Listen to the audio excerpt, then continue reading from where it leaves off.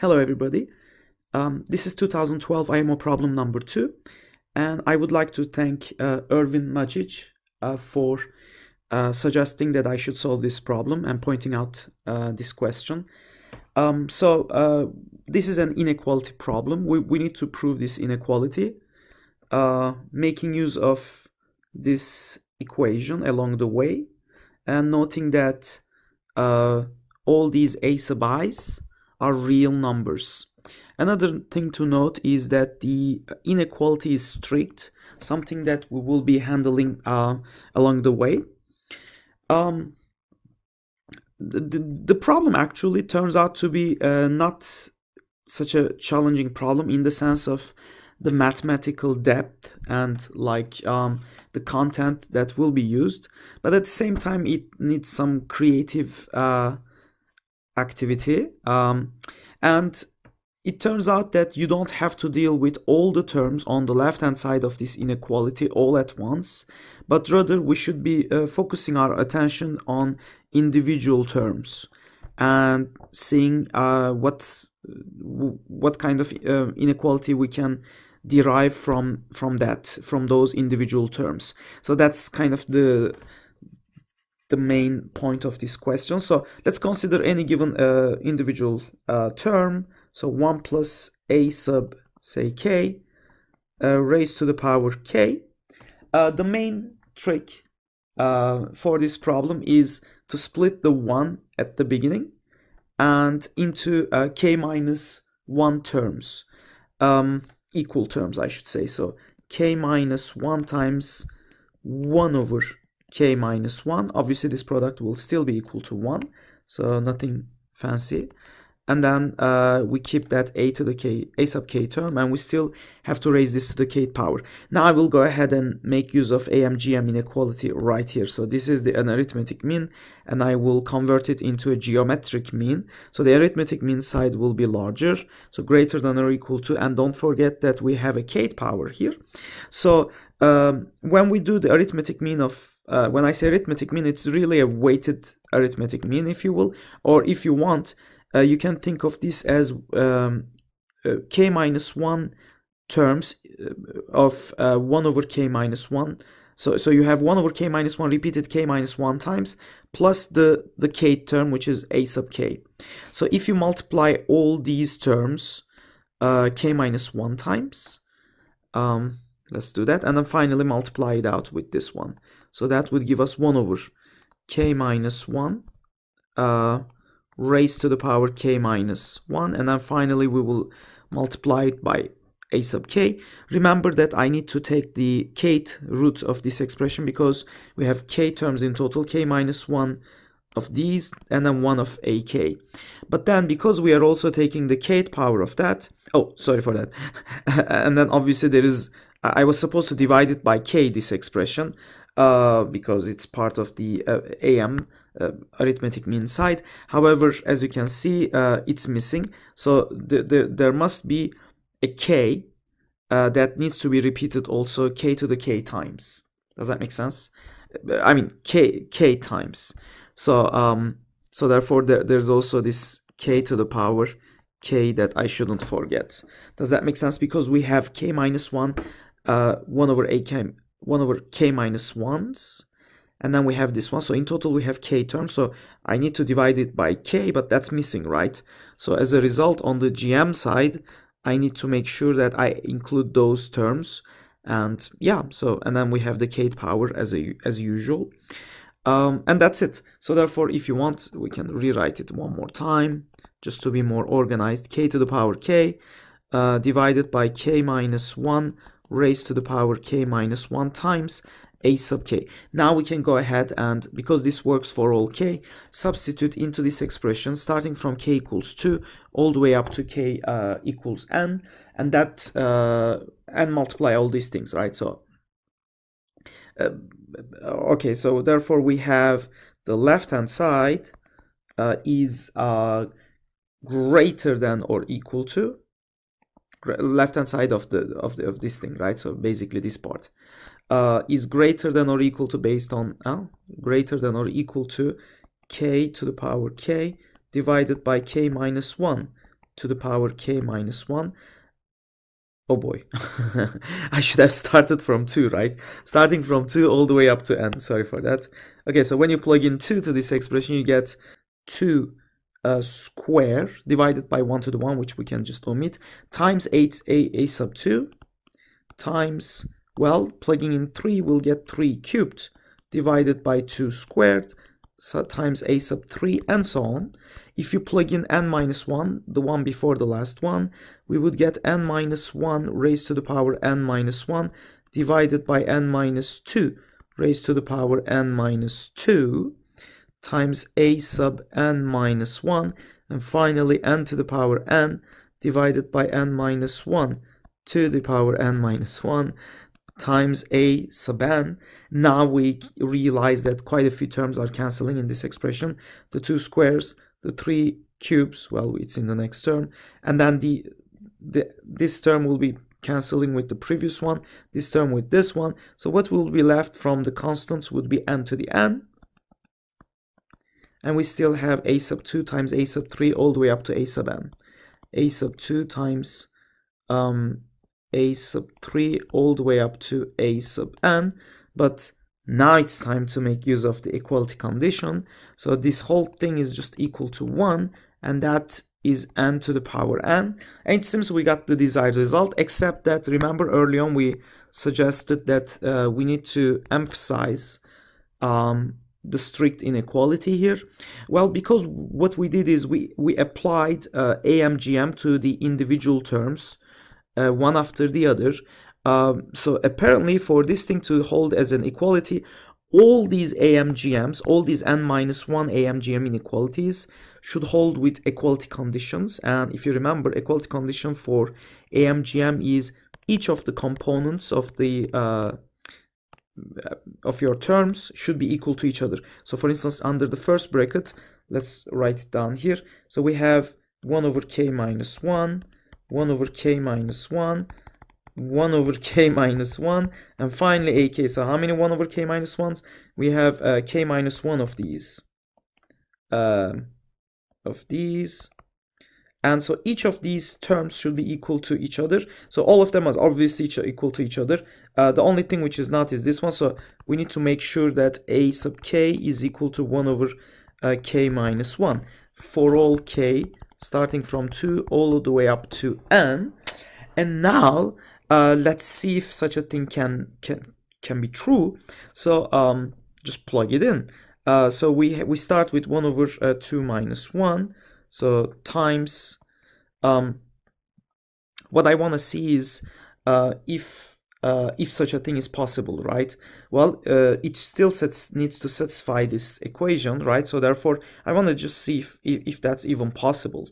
So 1 over uh, 2 minus 1 times 1 over 3 minus 1 all the way up to 1 over n minus 1 and we are hoping we are hoping that this thing is uh, equal to 1 and I think uh, everybody uh, is clear on that that it's it's not gonna work well it might have worked if n was equal to 2 actually this is the only time it can work but going back to the uh, uh, bounds, uh, we realize that, that that's not the case.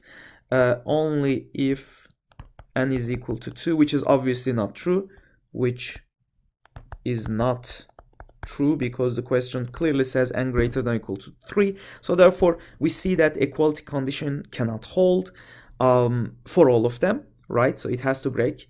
Um, and as a result, uh, this should be the, the, the, desired inequality is a strict inequality.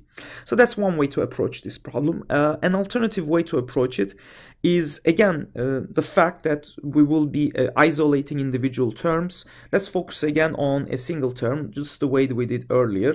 And instead, um, because it works for all these uh, real numbers, uh, a sub i's, I will think of this whole expression as a function in x where I replace a sub k with x and see from there if I can get a similar uh, inequality just just the way we, we, we got it. Okay, so therefore uh, we have this term now uh, k minus 1 so uh, um sorry. So uh, what was the, that term here? So 1 plus sorry. What am I thinking? Okay so we have this function now f of f of x equals k, um, 1 plus uh, a sub k, I'm replacing it with an x raised to the power k. Now you can think of uh, functional analysis and how to draw this uh, on, a picture. Well, I will start from minus 1. Um, well, if I start from minus 1, minus 1 will hit will hit 0, obviously. Um, and then it will it will just rise. Obviously, we have a um, well, it's not as steep as the exponential function, right? Because because this is just a polynomial. So let, us redo it. So I don't know, maybe something like this. Okay, good. Um, I'm not sure what will happen after minus 1. It can bend upwards if k is even, but if k is odd, it can go down just the way like the um, like x cube or something like that. So there are two options uh, depending on if k if k is even and if k is odd. But luckily that's not something I'm concerned with. Uh, so probably there's more curve here. Okay, there you go. Um, so what do we do next? Well, I need to show that this is uh, greater than or equal to an expression, a constant expression. And it turns out that uh, it's kind of reminds me of the uh, tangent line trick, if you will. You can draw this tangent line uh, who um, with uh, going through the origin and there you go. Uh, so the tangency point is right here. And let's say that this line is y equals just uh, and this solution is just from one of the AOPS users from AOPS website. I got this uh, I forgot the username. Sorry for that. But the, the main idea is uh, so the equation of this I'm using the same notation so you can follow it from there as well if you want to uh, y equals lx. Okay, so we have our original function here, and then this tangency function, which is obviously uh, always less than uh, our uh, our function itself. Uh, well, at least uh, for values of x greater than or equal to minus 1, but obviously we are only concerned with a positive real value, so it is um, so there's no problem. So therefore, what we claim is uh, is that, uh, let's see, so it is clear that 1 plus x raised to the kth power would be greater than or equal to uh, L times x. And I want to find the largest the largest L that would satisfy it. So basically I'm I'm really focusing on the tangency right? The equality condition here equality condition um, well, equality for one value of x, so it's really not equality in that sense. But uh, you guys see the idea. So finding this uh, tangency point. So how do we do? We can use uh, calculus, if you will. Well, we can do it in two steps. Using calculus, uh, we know that because it's a tangency point here, the slope of this line and the slope of our curve should be equal at that point. And secondly, uh, because they share the same value, for that value of x. If I calculate this value of x sub 0, and I can plug it into both functions and again I would get a second uh, equation and solving them simultaneously I should be able to uh, find the value of L which I can just plug it in here. And we already know what to expect right? So uh, from our analysis. So because we replaced here with x so this is our x in a sense. So this would be the value of L. So hopefully uh, we, we, we, we are pretty confident. Hopefully we can get that. All right, so let's go ahead and uh, take the derivative maybe, uh, and then figure out what that point is, and then uh, and then plug it into the functions and set the values equal to each other as you can see in the picture. So setting uh, the derivative of uh, the uh, left hand side, so I mean uh, of this function and setting it equal to the derivative of this one because they have the same tangency point here. So we have the derivative of our function is k times 1 plus x raised to the power k minus 1. Um, and then um, and then hopefully that should be equal to the derivative of this expression, which is just L.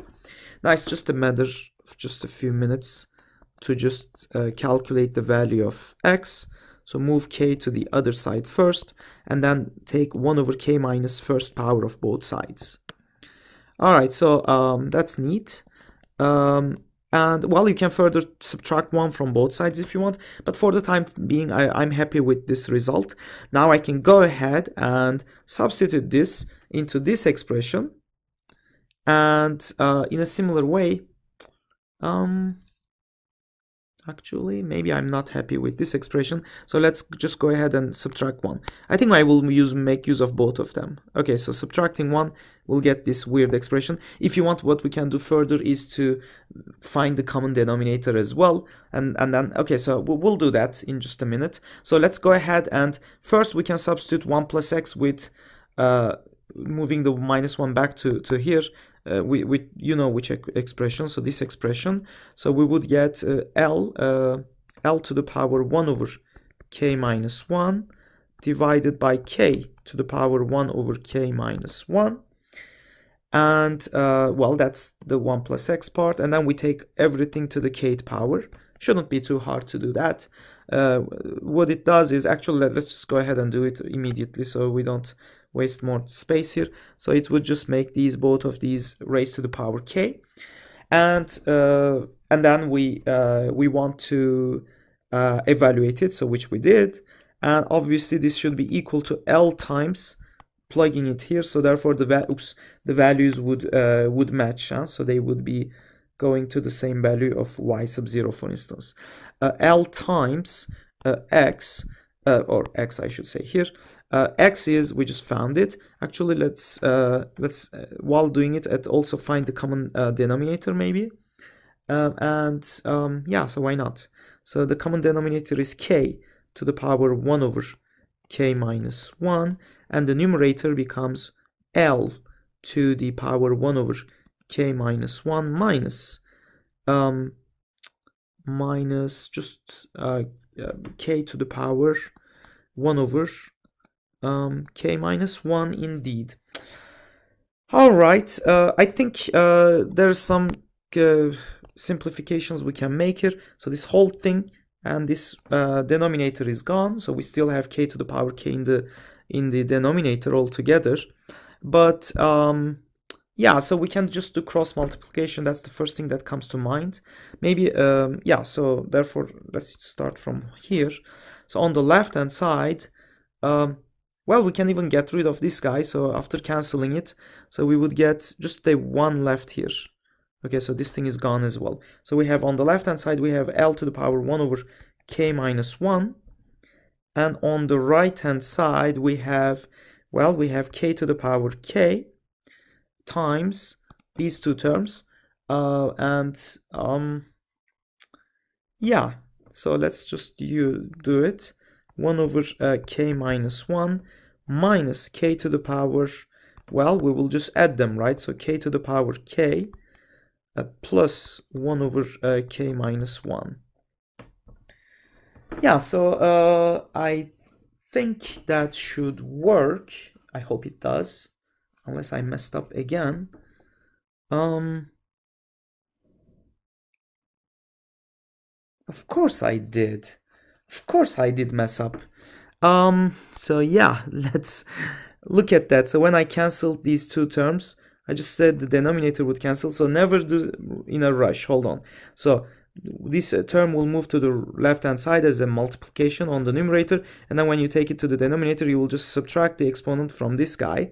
So what will be left inside would be k to the power k over k minus 1 minus 1 over k minus 1 which is k to the power k minus 1 over k minus 1 so which is just k. Not k to the k sorry for that. Not k to the k just k. So all the exponent is gone. So therefore uh, 1 plus. But wait a second, we already know what this means. 1 plus uh, 1 over k minus 1 is just k minus 1 plus 1, which is just k over k minus 1. So let's just go ahead and write it like that. k over uh, k minus 1. So we can now move the, the, the, expression of interest. In this case, it's really the, the, the, value of L, which hopefully I will put it into this and then we'll, we'll be able to. Huh? So um, so moving L to the to the to the left hand side maybe and then factoring out this common expression 1 minus k equals uh, minus k to the power k over k minus 1 so that's a minus. And finally um, uh, moving this guy to the left hand side and also switching these terms so that I can get rid of that minus sign we would get L to the power 1 over k minus 1 uh, equals um, so we took that term to the right hand side as as into the denominator. So we would get 1 minus k and in the numerator we still have k k to the power uh, to the power k over k minus 1 basically. Oh sorry so we decided to switch these two right? So k swap those. Okay good. Um, and and then we can further take the k minus first power and that would give us l equals k to the power k divided by k minus 1 to the power k minus 1 and now that's a beauty. So we can just substitute it here. k to the power k k minus 1 raised to the power uh, k minus 1 times x. Now remember that x in the given expression uh, each individual term is the a sub a sub i's right? So so therefore you would just replace it for instance with a sub 2 here. And then uh, a sub 2 here and then do the same thing for a sub 3 a sub 4 each one uh, and and this is pretty much well this is exactly the same inequality that we have solved earlier. So earlier we did AMGM and now we just use this uh, tangent line trick which is uh, quite useful and and uh, that uh, we can finish the same way we did the first example with an impossibility of an uh, inequality in weak inequality but rather a, a strict inequality. Awesome. So hope you enjoyed it and looking forward to see you guys in our next lecture